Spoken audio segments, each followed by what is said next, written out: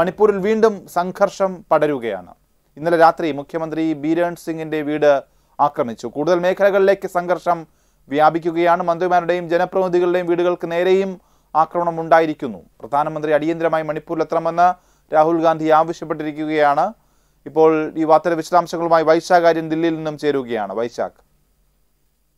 പതിനൊന്നാം തീയതി കുക്കി വിഭാഗത്തിൽ ക്ഷമിക്കണം മേറ്റേ വിഭാഗത്തിൽപ്പെട്ട ആറ് പേരെ അതായത് മൂന്ന് കുട്ടികളെയും മൂന്ന് സ്ത്രീകളെയും കാണാതായിരുന്നു. ഇവരെ തട്ടിക്കൊണ്ടുപോയതാണെന്നും ഇവരെ കണ്ടെത്തണമെന്നുള്ള ആവശ്യം ശക്തമാക്കിക്കൊണ്ട് നേരത്തെ തന്നെ മണിപ്പൂരിൽ വിവിധ വിഭാഗങ്ങളുടെ നേതൃത്വത്തിൽ പ്രതിഷേധങ്ങൾ നടക്കുന്നുണ്ടായിരുന്നു. ഇത് അതിനെ ഈ ഒരു സാഹചര്യത്തിലാണ് ആറ് മൃതദേഹങ്ങൾ ജിരിബാമിൽ നിന്നും കണ്ടെത്തിയത്. നദിയിൽ നിന്നാണ് മൂന്ന് കുട്ടികളുടെയും മൂന്ന് സ്ത്രീകളുടെയും മൃതദേഹങ്ങൾ കണ്ടെത്തിയത്. ഇത് നേരത്തെ കാണാതെ കാണാതായവരുടെ മൃതദേഹമാണെന്ന വാർത്തകൾ പടർന്നതിന് പിന്നാലെയാണ് സംഘർഷം വീണ്ടും ഒരു ഇടവേളയ്ക്ക് ശേഷം വ്യാപകമായത്. മാത്രമല്ല സർക്കാരും അധികൃതരും വേണ്ടത്ര ശ്രമങ്ങൾ ഇവരെ കണ്ടെത്തുന്നതിനു വേണ്ടി നടത്തിയില്ല. അവരുടെ കാര്യക്ഷമതയടക്കം ചോദ്യം ചെയ്താണ് സ്ത്രീകളടക്കമുള്ള ആളുകൾ കഴിഞ്ഞ ദിവസങ്ങളിൽ റോഡിലിറങ്ങി പ്രത്യേകിച്ചും ഇംഫാൽ മേഖലയിൽ പ്രതിഷേധങ്ങൾ നടത്തിയത്. ഏതായാലും കഴിഞ്ഞ ദിവസം ഈ ഒരു പ്രതിഷേധങ്ങൾ വീണ്ടും അക്രമാസക്തമാവുകയായിരുന്നു. ഇംഫാൽ മേഖലയിൽ വ്യാപകമായിട്ട് ആറ് എം എൽ എമാരുടെയും നിരവധി മന്ത്രിമാരുടെയും അതുപോലെ തന്നെ വീടുകളിലേക്ക് ഔദ്യോഗിക വസതികളിലേക്ക് ഈ പ്രതിഷേധക്കാർ എത്തുകയും വീടുകൾ അടിച്ചു തകർക്കാൻ ശ്രമിക്കുകയും ചെയ്തു.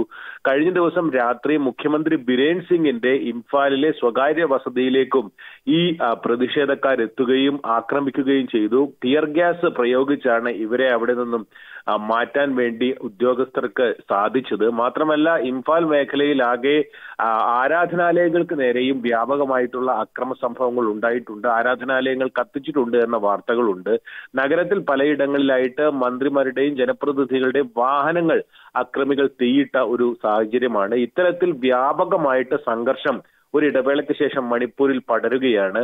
ഈ ഒരു സാഹചര്യം മുന്നിൽ കണ്ട് നേരത്തെ തന്നെ ഏഴ് ജില്ലകളിൽ ഇന്റർനെറ്റ് നിരോധനവും ഇംഫാലിൽ സമ്പൂർണ കർഫ്യൂവും സർക്കാർ ഏർപ്പെടുത്തിയിരുന്നു. എന്നാൽ ഈ ഒരു നടപടി സംഘർഷം കൂടുതൽ വ്യാപിക്കുന്നതിലേക്ക് അക്രമികളെ കൂടുതൽ പ്രകോപിപ്പിക്കുന്നതിലേക്കാണ് കടന്നത്.